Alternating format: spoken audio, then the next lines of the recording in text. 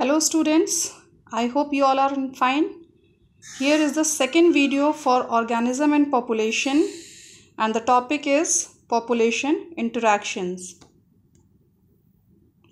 These are the overview of the chapter. We are going to cover all these topics in this chapter. First of all, definition and types, mutualism, predation, parasitism, competition, commensalism, amensalism, proto cooperation, scavenging, cannibalism, some important terms, and then lastly, uh, an assignment is given for you. So, population interaction. Population interaction is a process in which two or more population or organism interact with each other for resources. It can be of same species or of different species. Population interaction मतलब होता है कि किस तरीके से population क्या होती है जब कुछ और आ, कई सारे ऑर्गेनिज्म एक साथ इकट्ठे होते हैं एक जगह पे रहते हैं उसे हम पॉपुलेशन कहते हैं। हम लोगों ने फ़र्स्ट चैप्टर में पढ़ा हुआ है पॉपुलेशन क्या चीज़ होती है ऑर्गेनिज्म से बनती है आपकी पॉपुलेशन तो ये पॉपुलेशन यानी कई सारे लोग डिफरेंट स्पीसीज़ के उसमें होते हैं डिफरेंट कल्चर के लोग होते हैं उसमें।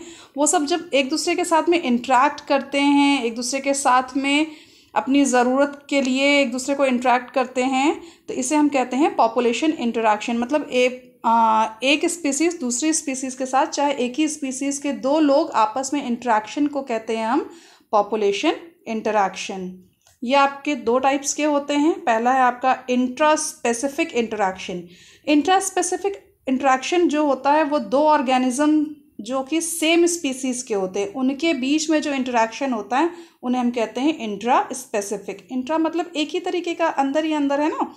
तो एक ही स्पीसीज़ के दो लोग, यानी स्पीसीज़ डिफरेंट नहीं होनी चाहिए, एक ही स्पीसीज़ के दो लोग। सपोज़ ह्यूमंस ह्यूमंस एक ही स्पीसीज़ के अंडर में आते हैं, वो दोनों आपस में जब इंट्रैक्ट करते हैं for the resources and other useful things they are known as intraspecific interaction second है आपका inter specific interaction inter specific interaction उन दो ऑर्गेनिजम्स के बीच में होता है जो कि डिफरेंट स्पीसीज के होते हैं।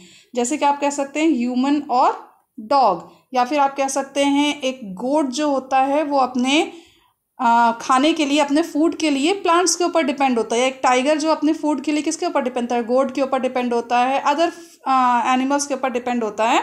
सोर्सेस के लिए तो इसे हम कह सकते हैं, इनके बीच का जो इंटरेक्शन है, उसे हम कह सकते हैं इंटर स्पेसिफिक इंटरेक्शन ठीक है?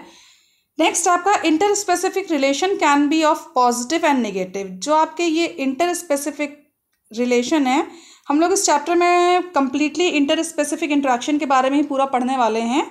तो इसका जो रिलेशनशिप होता है, वो आपका पॉजिटिव होता है या नेगेटिव होता है? यानी जो इंटर स्पेसिफिक में तो दो अलग अलग स्पीसीज़ के लोग तो दो अलग अलग स्पीसीज़ के लोग जब एक दूसरे के साथ इंट्रैक्ट करते हैं तो या तो वो पॉजिटिव इंट्रैक्शन होता है, या तो वो नेगेटिव इंट्रैक्शन होता है, ठीक है? पॉजिटिव इंट्रैक्शन से मतलब ये है कि जब बोथ द स्पीसीज जब दोनों स्पीसीज के लोग एक दूसरे के साथ में कुछ बेनिफिट मिल रहा है, यानी दोनों स्पीसीज के लोग आपस में काम कर रहे हैं, या कुछ रिसोर्सेज के लिए एक दूसरे के साथ में वर्क कर रहे हैं, और दोनों को फ़ायदा मिल रहा है, दोनों आपस में एक दूसरे को फ़ायदा दे रहे हैं तो हम इसे कहते हैं पॉजिटिव इंटरेक्शन ठीक है, अगर दोनों को फ़ायदा मिल रहा है अपने अपने इंटरेक्शन से तो हम इसे पॉजिटिव इंटरेक्शन कहेंगे. और अगर दोनों को फ़ायदा नहीं मिल रहा है तो हम इसे कहेंगे नेगेटिव इंटरेक्शन क्या कहेंगे इसे? नेगेटिव इंटरेक्शन अगर मतलब दो स्पीसीज आपस में अपने रिसोर्सेज के लिए इंटरेक्ट कर रहे हैं और दोनों को फ़ायदा नहीं मिल रहा है, दोनों स्पीसीज में से किसी को फ़ायदा नहीं मिल रहा है तो हम इसे नेगेटिव इंटरेक्शन कहेंगे. ठीक है? तो यहाँ हम डिफरेंट टाइप्स ऑफ़ इंट्रैक्शंस देखते हैं कौन कौन से इंट्रैक्शंस है और वो किस तरीके से पॉजिटिव और किस तरीके से नेगेटिव होते हैं, हम ये भी चेक करते हुए चलेंगे। ठीक है तो पहला इंट्रैक्शन होता है आपका म्यूचुअलिज्म म्यूचुअलिज्म वर्ड से ही समझ में आ रहा है म्यूचुअल म्यूचुअल मतलब दो लोग आपस में एक दूसरे के साथ में म्यूचुअल अंडरस्टैंडिंग है मतलब दोनों एक दूसरे को फ़ायदा देंगे। म्यूचुअल है, दोनों की अंडरस्टैंडिंग है, ठीक है? इसमें मैंने साइन लगाया हुआ है, दो प्लस का साइन आप देख सकते हैं। ये जो दो प्लस का साइन है मतलब क्योंकि मैंने पहले बताया कि जब दोनों को, दो स्पीसीज अलग अलग यूज़ हो रही हैं, जब दोनों को फ़ायदा हो रहा है तो दोनों पॉजिटिव आएँगे, ठीक है? तो दो स्पीसीज के लिए आपका पॉजिटिव और positive in this type of interaction both the species are getting benefit with each other for food this is also known as symbiosis इसमें क्या होता है आपका? फ़ूड के लिए जब दो स्पीसीज आपस में इंट्रैक्ट करते हैं और दोनों को फ़ायदा होता है तो हम इसे कहते हैं म्यूचुअलिज्म और क्योंकि दोनों को फ़ायदा हो रहा है तो साइन जो लगेगा वो दोनों पॉजिटिव होगा। और इस प्रोसेस को म्यूचुअलिज्म को हम सिम्बायोसिस भी कहते हैं, ठीक है? एग्ज़ाम्पल अगर हम बात करें तो फ्लावर एंड बीज है। फ्लावर और बीज कैसे? अब पॉलिनेशन के समय जब फ्लावर के ऊपर बीज या कोई अदर इंसेक्ट्स आकर के बैठते हैं तो बीस को उनमें से क्या मिलता है? उनसे नेक्टर मिलता है। तो बीज को फ़ायदा मिला कि उसको फ़ूड मिल रहा है।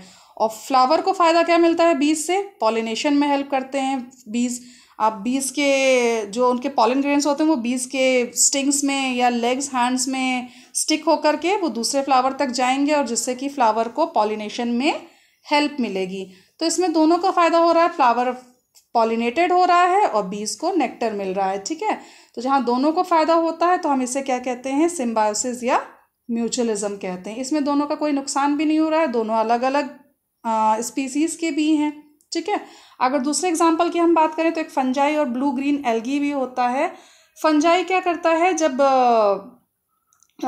सॉरी ब्लू ग्रीन एल्गी क्या करता है? जब फ़ूड बनाना होता है algae make food by photosynthesis as you all know that कि एल्गीज अपना फ़ूड कैसे बनाते हैं फोटोसिंथेसिस के प्रोसेस से and fungi get food from algae fungi क्या करते हैं फ़ूड एल्गी से लेते हैं एल्गीज ग्रीन कलर के होते हैं तो वो क्लोरोफिल के हेल्प से अपना फ़ूड फोटोसिंथेसिस के मेथड से बना लेते हैं और जो फंजाई होते हैं, वो फ़ूड के लिए एल्गीज के ऊपर डिपेंड करते हैं। पर एल्गीज अपना प्रोटेक्शन खुद से नहीं कर पाते हैं, क्योंकि वो सनलाइट के सेंसिटिव होते हैं तो जब बहुत ज़्यादा लाइट सनलाइट पड़ती है उनके ऊपर में तो वो डिस्ट्रॉय हो जाते हैं। तो फंजाई जो होते हैं, वो उनको क्या करते हैं? प्रोटेक्ट करते हैं एक्सट्रीम सनलाइट से। ठीक है तो दोनों को फ़ायदा हुआ। फंजाई को फ़ूड मिल रहा है एल्गी को प्रोटेक्शन मिल रहा है। ओके तो this is known as symbiosis और mutualism I hope this is clear to you next predation next interaction है आपका predation In this type of interaction, one species is feeding on other species for the food and their survival. इसमें क्या होता है? एक inter एक species दूसरे species के ऑर्गेनिज्म के ऊपर डिपेंड होता है फ़ूड और सर्वाइवल के लिए यानी अपने जीने के लिए और फ़ूड के लिए। भाई खाना ज़रूरी तो जीना भी तभी जिएगा इंसान। ठीक है? तो क्या होता है? फ़ूड जो होता है वो ऑर्गेनिज्म जो होता है फ़ूड के लिए दूसरे ऑर्गेनिज्म के ऊपर डिपेंड करता है पर स्पीसीज डिफरेंट होती है। Here one species act as predator and other act as prey इसमें क्या होता है? एक स्पीसीज प्रीडीटर जैसा एक्ट करती है, दूसरा प्रे यानी जो दो स्पीसीज हम यूज़ कर रहे हैं, उसमें से उसमें से एक आपका प्रिडीटर होगा और दूसरा आपका प्रे होगा. प्रीडीटर यानी जो, जिसको फ़ायदा मिल रहा है, उसे हम कहेंगे प्रीडीटर और जो कि नुकसान में जा रहा है, जिसके, जिसको प्रीडीटर अपना शिकार बनाने वाला है, उसे हम प्रे कहेंगे. ठीक है? तो इसमें क्या होता है? एक को फ़ायदा मिलता है दूसरे को नुकसान मिल रहा है, क्योंकि प्रेडिटर तो प्रे को जब अपने फ़ूड के लिए जब उसको खाएगा तो प्रे तो मर जाएगा तो उसका तो नुकसान हो गया। और प्रेडिटर को फ़ायदा मिल रहा है कि उसको फ़ूड मिल रहा है, क्योंकि उसको ज़िंदा रहना है। एग्ज़ाम्पल टाइगर गोट के ऊपर डिपेंड करता है और गोट प्लांट्स के ऊपर डिपेंड करती है। अगर मैं इसमें से टाइगर हटा देती हूँ तो गोट और प्लांट्स दो ही चीज़ बच रहे हैं। गोट तो ज़िंदा रह जा रही है प्लांट्स के ऊपर डिपेंड होकर के। पर जब गोट टाइगर रहेगा नहीं, गोट को कोई नहीं खाएगा तो गोट क्या हो जाएगी? धीरे धीरे करते करते ग्रास जो प्लांट्स होते हैं, वो कई सारे प्लांट्स खाते जाएँगे गोट्स अमाउंट में बढ़ते जाएँगे और प्लांट्स जो होंगे, वो पूरी तरीके से ख़त्म हो जाएँगे। इसलिए एक बैलेंस बनाने के लिए ट्रॉपिक का जो बैलेंस होता है लेवल मेंटेन करने के लिए, हमें बहुत ज़रूरी है कि जो आपका ट्रॉपिक चैनल है, वो हमेशा चलता रहे। इसलिए टाइगर गोट को खाते हैं गोट प्लांट्स को खाते हैं। तो इससे क्या होता है कि आपका जो प्रीडीटर टाइगर है, वो गोट को खाता है। गोट का तो गोट मर जाता, उसका नुकसान हुआ और टाइगर जो है, उसको फ़ायदा हुआ, वो ज़िंदा रह रहा है और उसको खाना मिल रहा है। इसमें इंपॉर्टेंस मैंने जैसे आपको पहले बताया कि transfer of energy across the trophic level इसमें एनर्जी चैनल जो होती है, वो कंटिन्यू चलती रहती है। उसमें कोई, इससे एनर्जी लेवल जो होता है, वो एक से दूसरे में जाता है। जैसे प्लांट से एनर्जी गई गोट में गोट की एनर्जी गई टाइगर में, ठीक है? तो एनर्जी चैनल जो होता है वो चलता रहता है। दूसरा control the population of the prey जो प्रे था, जैसे कि गोट बहुत ज़्यादा अगर अमाउंट में बढ़ जाएगी ग्रासलैंड्स पूरी तरीके से ख़त्म हो जाएँगे तो कहीं भी घास हमें नहीं मिलेगी, कहीं हमें प्लांट्स नहीं मिलेंगे फोटोसिंथेसिस का प्रोसेस नहीं होगा ऑक्सीजन नहीं मिलेगी, ठीक है? तो इससे कई सारे नुकसान है, इसलिए control the population of the prey तो क्या करता है टाइगर उस प्रे को खा करके पॉपुलेशन को कंट्रोल भी करता है। तो ये आपका प्रिडिशन है जिसमें कि एक को फ़ायदा हो रहा है और दूसरे को नुकसान हो रहा है। थर्ड है आपका इंट्रैक्शन पैरासिटिज्म पैरासिटिज्म भी आपका एक पॉजिटिव एक नेगेटिव आप साइन देख सकते हैं, यानी एक को फ़ायदा हो रहा है और दूसरे को फ़ायदा नहीं हो रहा है यानी हार्म हो रहा है। इसमें क्या होता है? In this type of interaction one species lives in और on the body of the other species and derive it food from the body इसमें क्या होता है? आ, इस टाइप में एक स्पीसीज के ऑर्गेनिज्म दूसरे स्पीसीज के ऑर्गेनिज्म की बॉडी पे डिपेंड करता है। चाहे वो बॉडी के अंदर रह करके हो चाहे वो बॉडी के ऊपर रह करके हो। तो ठीक है तो अपने खाने के लिए वो किसके ऊपर डिपेंड करता है? दूसरी स्पीसीज की बॉडी के ऊपर। हियर दो organism which depends on the other body is called parasites यानी जो ऑर्गेनिज्म अपने खाने के लिए दूसरी की बॉडी पे डिपेंड करता है उसे हम पैरासाइट्स कहते हैं। और जो ऑर्गेनिज्म पैरासाइट्स के द्वारा खाए जाते हैं या अपनी बॉडी के ऊपर, जिनके ऊपर पैरासाइट्स रहते हैं, उन्हें हम कहते हैं होस्ट ठीक है? पैरासाइट्स आपके थ्री टाइप्स के होते हैं। पहला है आपका ecto parasites ecto parasite ecto मतलब बाहर होता है और पैरासाइट्स मैंने पहले बताया, जिन, जो ऑर्गेनिज्म किसी दूसरे की बॉडी के ऊपर में फ़ीड करते हैं, ठीक है? तो ऐसे पैरासाइट्स जो कि दूसरी स्पीसीज की बॉडी के बाहर एक्सटर्नल सरफेस में रहते हैं होस्ट की बॉडी के ऊपर, उन्हें हम कहते हैं ectoparasites example lice and human head lice Hindi में हम जुए कहते हैं, जो कि ह्यूमन एड हेड यानी इंसानों के सर पे रहते हैं और उनका ब्लड सक करते हैं और अपने आप को ज़िंदा रखते हैं, अपना फ़ूड अपना नरिशमेंट उनके हेड से लेते हैं। इसमें नुकसान क्या हो रहा है? ह्यूमन की बॉडी से ब्लड का लॉस हो रहा है, पर फ़ायदा किसको हो रहा है? लाइस को पैरासाइट को फ़ायदा हो रहा है, वो रह करके वहाँ से ब्लड सक कर रही है तो वो सर्वाइव कर रही है, उसको फ़ूड मिल रहा है। ठीक है तो ये बॉडी के बाहर रह करके होता है तो इसे हम कहते हैं एक्टो पैरासाइट सेकेंड है आपका एंडो पैरासाइट एंडो पैरासाइट ऐसे पैरासाइट जो बॉडी के अंदर रह करके अपना खाना लेते हैं होस्ट की बॉडी पे। Example worms in the intestine worms जैसे कि टेप वॉम्स हो गए, या फिर आपका स्कैरिस हो गया ये क्या करते हैं? स्कैरिस आपके इंटेस्टाइन में रहते हैं। इंटेस्टाइन में रह करके वहाँ से वो लोग फ़ूड डाइजेस्टेड फ़ूड जो होता है उसके ऊपर डिपेंड करते हैं और वो फ़ूड जो होते हैं वो सक करते हैं। इससे क्या आपकी बॉडी में आ, कई तरीके की डिजीज़ेज़ होती हैं उन वॉर्म्स के कारण में। आ, आपका जो डाइजेशन है वो सही से नहीं हो पाता आपका वेस्ट मटेरियल सही से बाहर नहीं आ पाता आपकी बॉडी से। तो इसमें आपका नुकसान, आपकी बॉडी का नुकसान हो रहा है, पर फ़ायदा किसको हो रहा है? वॉर्म्स को हो रहा है। वो वहाँ रह करके आराम से बना, बनाया खाना उनको मिल रहा है। उनको डाइजेशन की कोई चिंता नहीं है। आराम से वहाँ वो रह रहे हैं। ठीक है? तो ये ऐसे सर्टेन वॉर्म्स हैं जो बॉडी के अंदर फॉर एग्ज़ाम्पल आपका टेप वॉर्म हो गया स्कैरीज हो गए तो ये लोग अपना खाना आपकी बॉडी के अंदर से लेते हैं। ब्रूड पैरासाइट्स ब्रूड पैरासाइट्स क्या होते हैं? ऐसे पैरासाइट्स जो कि डिपेंड करते हैं दूसरे ऑर्गेनिजम्स के ऊपर में अपने बच्चों को पालने के लिए। For example Kuku.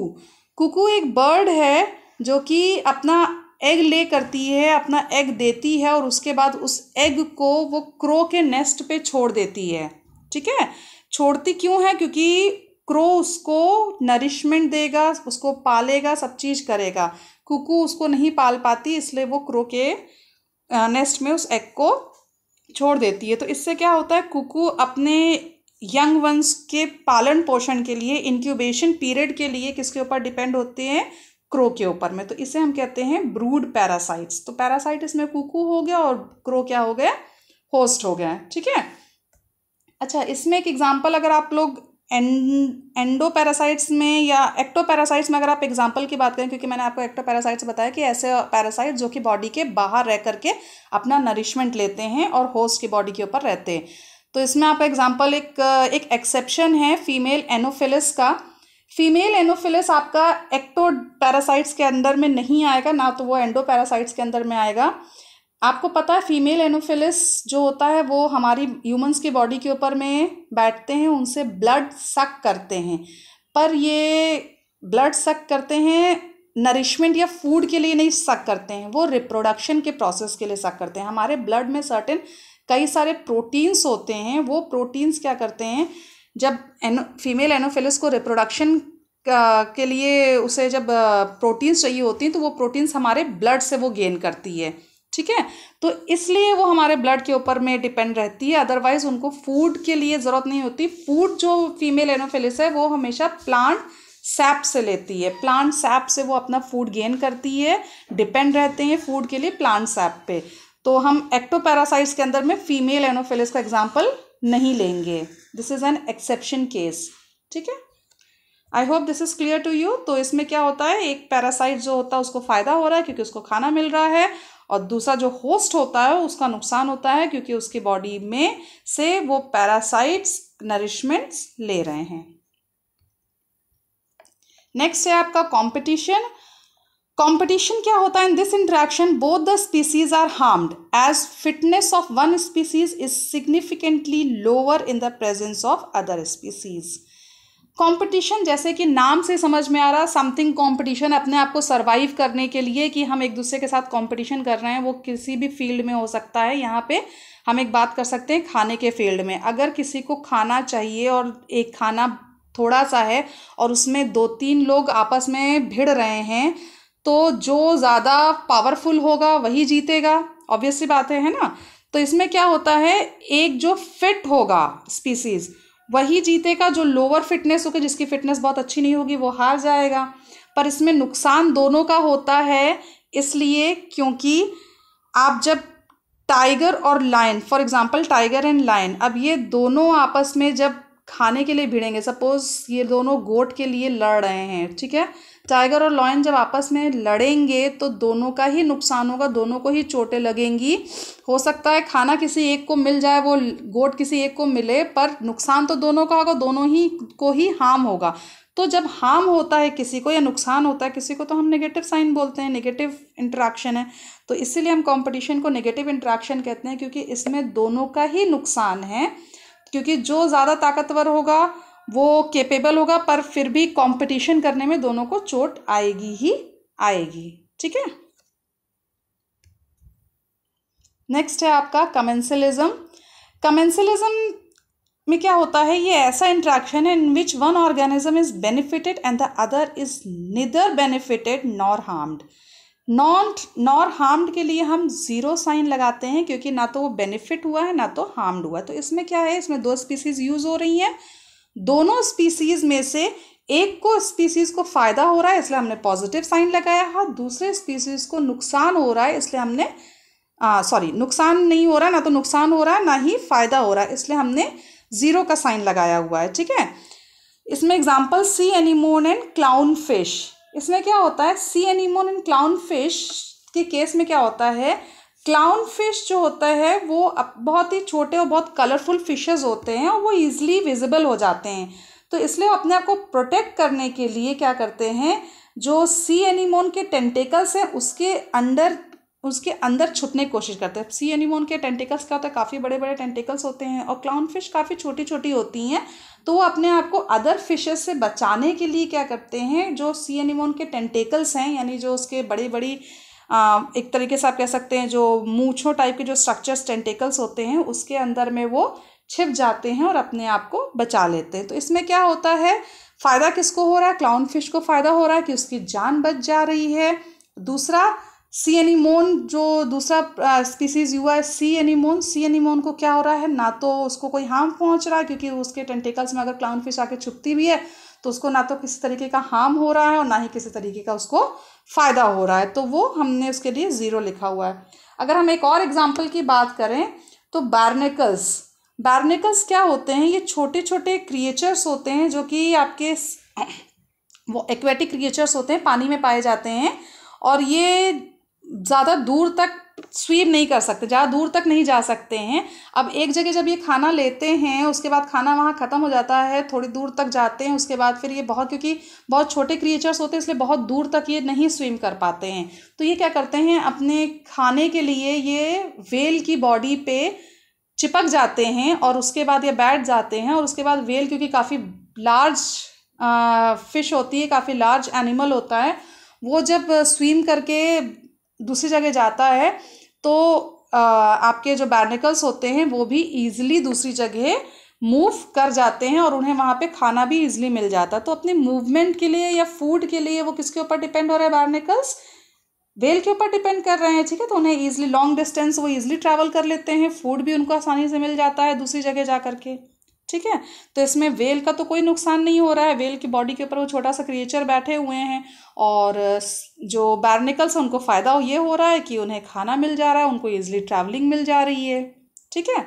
तो कमेंसलिज्म मतलब एक को फ़ायदा हो रहा है, दूसरे को ना तो फ़ायदा हो रहा है, ना ही कोई नुकसान हो रहा है। नेक्स्ट है आपका एमेंसिलिज्म। एमेंसिलिज्म में क्या होता है? एक स्पीसीज को नुकसान होता है, हार्म पहुँचता है और दूसरी स्पीसीज को ना तो कोई बेनिफिट होती है उसका, ना ही कोई उसको हार्म होता है। ठीक है? In this type of interaction, one organism is getting harm by the other, but the other is getting no effect. इसमें क्या होता है? दो स्पीसीज यूज़ हुए हैं। इसमें से एक स्पीसीज को हार्म पहुंचाता है दूसरा स्पीसीज, पर दूसरे स्पीसीज को ना तो कोई फ़ायदा मिल रहा है और ना ही कोई हार्म पहुँच रहा है। एग्ज़ाम्पल जैसे कि bacteria and antibiotics bacteria suppose एक हमने पेट्री डिश ली हुई है उसमें हमने बैक्टीरिया को कल्चर किया हुआ है ठीक है ना? जब बैक्टीरिया को हम कल्चर करते हैं तो क्या होता है कि आ, आपका बैक्टीरिया जब कल्चर होती है तो आपके एंटीबायोटिक्स उसमें होते हैं। एंटीबायोटिक्स बनाते हैं जब एंटीबायोटिक्स में हम दूसरे बैक्टीरिया को उसी पेट्री डिश में लाते हैं तो वो एंटीबायोटिक्स जो होते हैं, वो दूसरी बैक्टीरिया के लिए नुकसानदायक होते हैं। ठीक है? इसमें क्या था? फॉर एग्ज़ाम्पल अगर हम बात करें फंगस की, फंगस क्या करते हैं? फंगस जो होते हैं, वो रिलीज़ करते हैं एंटीबायोटिक्स। आपको पता होगा कि फंगस, अगर हम बैक्टीरिया की बात करें तो फंगस आपका एक तरीके का बैक्टीरिया ही होता है। वो क्या करते हैं? वो रिलीज़ करते हैं एंटीबायोटिक्स को और एंटीबायोटिक्स किल करते हैं अदर स्पीसीज के मतलब जो अदर बैक्टीरिया के स्पीसीज के जो आपके बैक्टीरियाज होते हैं अदर स्पीसीज के बैक्टीरियाज को उनको किल करने में हेल्प करता है। भाई, एंटीबायोटिक्स का काम क्या होता है? बैक्टीरियाज को किल करने के लिए। और एंटीबायोटिक्स बनता किससे? वो भी बैक्टीरिया से ही बनता है, ठीक है ना? तो सर्टेन बैक्टीरिया जो एंटीबायोटिक्स बना रहे हैं ठीक है? तो उनको तो ना तो कोई फ़ायदा मिल रहा है, ना ही कोई नुकसान हो रहा है। वो अपना बैक्टीरिया बना दे रहे हैं सॉरी एंटीबायोटिक्स बना दे रहे हैं वो बैक्टीरिया पर वो एंटीबायोटिक्स क्या होता है? दूसरे स्पीसीज़ के बैक्टीरिया को क्या करता है? मारने में हेल्प करता है, ठीक है? तो इसमें एक बैक्टीरिया को ना तो कोई फ़ायदा हो रहा है, ना तो कोई नुकसान हो रहा है, वो सिर्फ़ एंटीबायोटिक बना करके छोड़ दे रहा है। पर दूसरे स्पीसीज़ के बैक्टीरिया को क्या हो रहा है? नुकसान हो रहा है, क्योंकि वो उसकी बनाई हुई एंटीबायोटिक से मारा जा रहा है। ठीक है? तो ये आपका क्या कहलाता है? एमेंसिलिज्म इसमें एक को नुकसान होता है और दूसरे को ना तो कोई नुकसान, ना तो कोई बेनिफिट होता है। नेक्स्ट है आपका फ़ोटो कोऑपरेशन प्रोटो कोऑपरेशन में क्या होता है? इसमें दोनों स्पीसीज़ को फ़ायदा होता है। अब ये आप कह सकते हैं, जब दोनों स्पीसीज़ को फ़ायदा हो रहा है तो हम म्यूचुअलिज्म भी कह सकते हैं इसको। पर म्यूचुअलिज्म में क्या होता है? दो अलग अलग स्पीसीज़ यूज़ होते हैं। इसमें क्या है? इसमें जो इंट्रैक्शन होता है, वो एक ही स्पीसीज के लोगों के बीच में होता है, ठीक है? In this type of interaction both the species are getting benefit but both can live without each other इसमें क्या होता है कि अपने साथ में ये फ़ायदा तो दोनों को हो रहा है, पर दोनों एक दूसरे के बिना रह भी सकते हैं। ऐसा ज़रूरी नहीं है कि अगर दोनों एक दूसरे के को फ़ायदा ना दें तो दोनों में से कोई सरवाइव नहीं कर पाएगा। जैसा कि मैंने आपको म्यूचुअलिज्म में बताया कि वो दोनों एक दूसरे के ऊपर डिपेंड होते ही होते हैं सरवाइव करने के लिए। पर प्रोटो कोऑपरेशन के केस में ऐसा नहीं है। दोनों एक दूसरे को फ़ायदा तो देते हैं, पर अगर दोनों एक दूसरे को एक दूसरे के कांटेक्ट में या इंट्रैक्शन में नहीं आएँगे तो भी इन दोनों को कोई नुकसान नहीं पहुंचेगा। इसलिए ये आपका दोनों, क्योंकि फ़ायदा दे रहे हैं, इसलिए पॉजिटिव पॉजिटिव है। और म्यूचुअलिज्म से डिफरेंट इसलिए कि अगर दोनों एक दूसरे के इंट्रैक्शन में नहीं भी आते तो भी इन दोनों को कोई नुकसान नहीं होगा। ठीक है? इसमें क्या होता है? क्रोकोडाइल एंड क्रोकोडाइल बर्ड एक एग्ज़ाम्पल अगर हम ले रहे हैं तो क्रोकोडाइल आपको पता है मगरमच्छ को कहते हैं क्रोकोडाइल बर्ड एक बहुत छोटी सी बर्ड होती है जो कि जिसका माउथ काफ़ी बड़ा होता है जिसे इस, इसलिए हमने उसको नाम दिया क्रोकोडाइल बर्ड ये क्या करते हैं? क्रोकोडाइल बर्ड इनके केस में क्या होता है? क्रोकोडाइल बर्ड्स जो होते हैं वो क्रोकोडाइल के माउथ के अंदर में जो लीचेज होते हैं उनको खाने में हेल्प करता है। उसे खा लेता है तो उसको क्या है, वो उन बर्ड्स को अपना फ़ूड मिल जाता है। पर क्रोकोडाइल को क्या होता है फ़ायदा? उसको क्या है, उन लीचेस से रिड ऑफ़ मिल रहा है, यानी उनको उन लीचेस से छुटकारा मिल रहा है, ठीक है? तो क्रोकोडाइल को क्या होता है, उन लीचे से छुटकारा मिल जाता है क्रोकोडाइल बर्ड को उसको खाना मिल जा रहा है तो दोनों को फ़ायदा मिल रहा है। पर अगर वो बर्ड को क्रोकोडाइल के माउथ से खाना नहीं मिलेगा तो भी वो बर्ड सर्वाइव कर सकती है, दूसरी जगह से खाना ले करके और अगर क्रोकोडाइल के माउथ से वो लीचेस नहीं हटेंगे तो भी उसे कोई नुकसान नहीं है कि वो बर्ड आकर के वो लीचेस हटाए ही हटाए, ठीक है? तो इसमें ना तो दोनों को कोई फ़ायदा हो रहा है, सॉरी, फ़ायदा तो हो रहा है, पर दोनों को कोई, अगर दोनों एक दूसरे कॉन्टैक्ट में नहीं आएँगे तो दोनों को कोई नुकसान भी नहीं होगा, ठीक है? नेक्स्ट है आपका स्केवेंजिंग स्केवेंजिंग भी आपका दोनों ही बेनिफिटेड वाला है, इसलिए तो हमने दो साइन लगाया हुआ है। In this type of interaction organism depends on dead and decaying matter. इसमें क्या होता है? आपका जो एक स्पीसीज़ के लोग हैं, वो दूसरी स्पीसीज़ के डेड बॉडीज़ के ऊपर में या सड़ी गली चीज़ों के ऊपर में डिपेंड करते हैं। तो म्यूचुअलिज्म हम इसलिए नहीं कह सकते क्योंकि दोनों ही लिविंग नहीं है, ठीक है? एक लिविंग है और दूसरा क्या है? नॉन लिविंग है। यानी नॉन लिविंग नहीं, एक्चुअली वो मर चुका है, डेड डिकेंग है डिकम्पोजर है, ठीक है ना? तो हम क्या कर सकते हैं, पहला आपका लिविंग है, दूसरा आपका डेड बॉडी है या डेड मटेरियल है डिकेइंग मैटर है, ठीक है? तो इसमें एग्ज़ाम्पल जैसे आपका वल्चर हो गया या रकून्स हो गया वल्चर क्या करते हैं, वो जित जो भी सड़ी गली चीज़ होती है, जो एनिमल्स मर जाते हैं, उनको खाते हैं। अच्छा दूसरे को फ़ायदा कैसे हो रहा है? आपके एनवायरनमेंट को फ़ायदा हो रहा है। आपकी जो जिस जगह पे वो एनिमल मरा है वहाँ पे काफ़ी गंदगी बदबू पॉल्यूशन फैलेगा। उससे क्या हो रहा है? एनवायरनमेंट आपका क्लीन हो जाता है और आ, वल्चर को फ़ायदा कैसे मिल रहा है? उसको खाना मिल रहा है ठीक है? तो जैसे बैक्टीरिया बैक्टीरिया को आप डिकिंग मैटर के ऊपर में अगर छोड़ दीजिए तो वो डिकम्पोजर सबसे बेस्ट डिकम्पोजर कहलाते हैं वो क्या करते हैं? किसी भी चीज़ को डिकम्पोज करके ख़त्म कर देते हैं। तो आपका एनवायरनमेंट साफ़ हो जाता है और बैक्टीरिया को खाना भी मिल जाता है। तो स्केवेंजर्स वो ऑर्गेनिजम्स होते हैं जो कि डेड और डिकेइंग मैटर के ऊपर में डिपेंड करते हैं और दोनों को फ़ायदा ये होता है कि उसकी बॉडी पूरी, वो तो ऑलरेडी डेड है तो एनवायरनमेंट आपका क्लीन हो रहा है एनवायरनमेंट को फ़ायदा मिल रहा है और वल्चर को खाना मिल जा रहा है। ठीक है? Cannibalism cannibalism in this type of interaction one organism depends on the other organism of same species for food इसमें क्या होता है? आपका एक ऑर्गेनिज्म अपनी ही स्पीसीज के ऑर्गेनिज्म के ऊपर डिपेंड होता है फ़ूड के लिए। तो एक को फ़ायदा हो रहा है, जिसको फ़ूड मिल रहा है उसको फ़ायदा हो रहा है, और जो खाया जा रहा है उसको नुकसान हो रहा है, क्योंकि जो फ़ूड बन रहा है उसका, उसको क्या हो रहा है, वो डेड हो जा रहा है, इसलिए उसको नुकसान हो रहा है। तो कैनाबैलिज्म में एक पॉजिटिव इंट्रैक्शन और दूसरे को निगेटिव इंट्रैक्शन मिलेगा, ठीक है? इसमें क्या होता है, सेम स्पीसीज़ के दोनों ऑर्गेनिज्म सेम स्पीसीज़ के यूज़ हो रहे हैं, स्पीसीज़ हम डिफरेंट नहीं कर रहे हैं यहाँ पे। यहाँ पे एक ही स्पीसीज़ के दो लोग हैं और वो दोनों आपस में एक दूसरे के साथ में क्या होते हैं, खाने के लिए डिपेंड करते हैं तो एक जो होता है वो दूसरे स्पीसीज़ को खा जाता है। फॉर एग्जांपल अगर हम स्पाइडर की बात करें तो स्पाइडर जो होता है, वो अपनी ही स्पीसीज़ के स्पाइडर को खाता है अपनी फ़ूड के लिए, अपने आप को सर्वाइव करने के लिए। ठीक है? सो so, हियर्स आपके सारे जितने भी इंट्रैक्शंस हैं वो फिनिश हो गए हैं। अब कुछ इंपॉर्टेंट टर्म्स जो कि चैप्टर में आपके गिवन हैं। जैसे फ़र्स्ट है आपका मिमिक्री मिमिक्री क्या होता है? It is a resemblance of an organism और ऑब्जेक्ट फॉर सम एडवांटेज ये क्या होता है? कुछ ऑर्गेनिजम्स अपने साथ में कुछ मिमिक्री करते हैं। आ, चाहे वो आपका मिमिक्री मतलब इन द सेंस सिर्फ़ मुँह से निकाली हुई आवाज़ नहीं है यहाँ पे। वो अपने आप को बचाने के लिए अप, किसी भी तरीके से अपने आप को चेंज करके चाहे वो आवाज़ हो उनका कलर हो उनका साइज़ हो कुछ भी चेंज करके वो अपने आप को बचाते हैं तो ये क्या करते हैं? अपने आप को बचाने के लिए दूसरे को दूसरे का कैरेक्टर अडॉप्ट कर लेते हैं। इससे हम कहते हैं मिमिक्री ठीक है?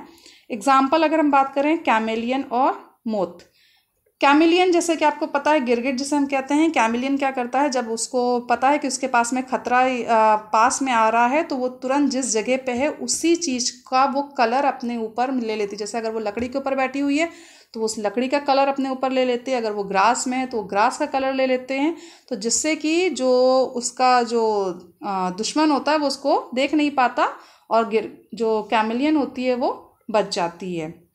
मोथ क्या होता है? मोथ आपके दो कलर के होते हैं। मेलानिन मोथ भी हम इसे कहते हैं, या आपके इधर ब्लैक कलर के होते हैं, या फिर आपके ग्रे कलर के होते हैं।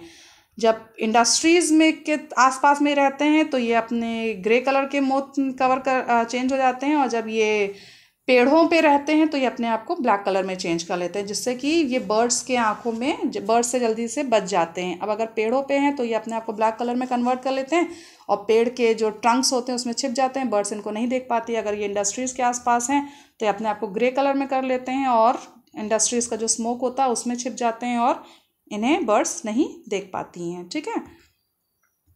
मिमिक्री आपकी टू टाइप्स की होती है। पहला होता है आपका प्रोटेक्टिव मिमिक्री दूसरा होता है आपका एग्रेसिव मिमिक्री प्रोटेक्टिव मिमिक्री क्या होता है?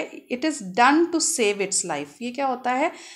प्रे अब इसमें जो है कैमिलियन और मौत की अगर हम बात करें तो ये प्रे ही है एक तरीके से क्योंकि ये बच रहे हैं, किसी कोई उनको खा ना सके। तो ये एक तरीके से प्रे कहलाते हैं, ठीक है? तो प्रीडीटर से ये हमेशा बचते रहते हैं।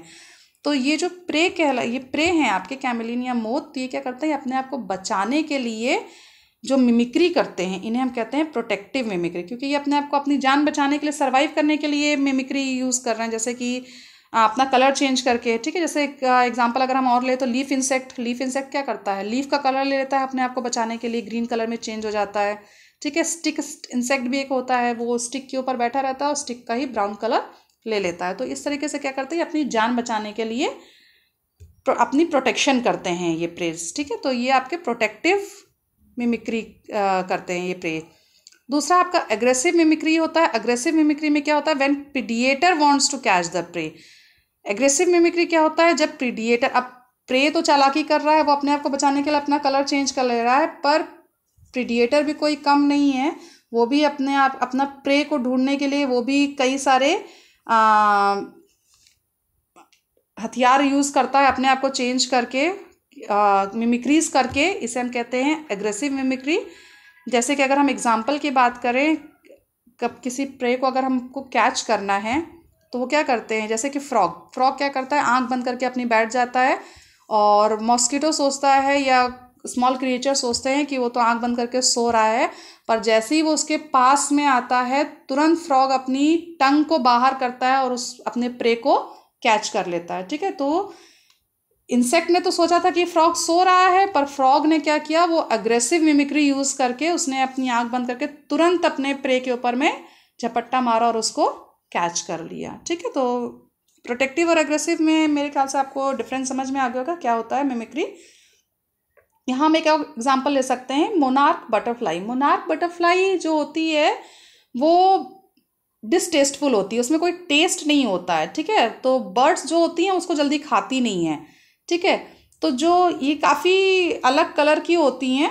अच्छा कुछ बटरफ्लाईज मुनाक बटरफ्लाई जैसे ही उसके कलर्स होते हैं, उनके विंग्स के तो वो क्या करते हैं? वो कैसे बच पाते हैं? वो मुनाक बटरफ्लाई के मतलब मुनाक बटरफ्लाई जैसे ही कलर क्योंकि उनके पास में है तो बर्ड सोचती हैं कि ये वही मोनार्क बटरफ्लाई है, इसमें कोई टेस्ट नहीं है और इसलिए वो उनके कारण उसको खाते नहीं है। जिससे कि क्या करते हैं, वो नॉर्मल बटरफ्लाईज भी मोनार्क बटरफ्लाई जैसे एक्ट करके अपने आप को बचा ले लेते हैं, ठीक है? तो ये आपका एक प्रोटेक्टिव मिमिक्री के अंडर में ही आएगा।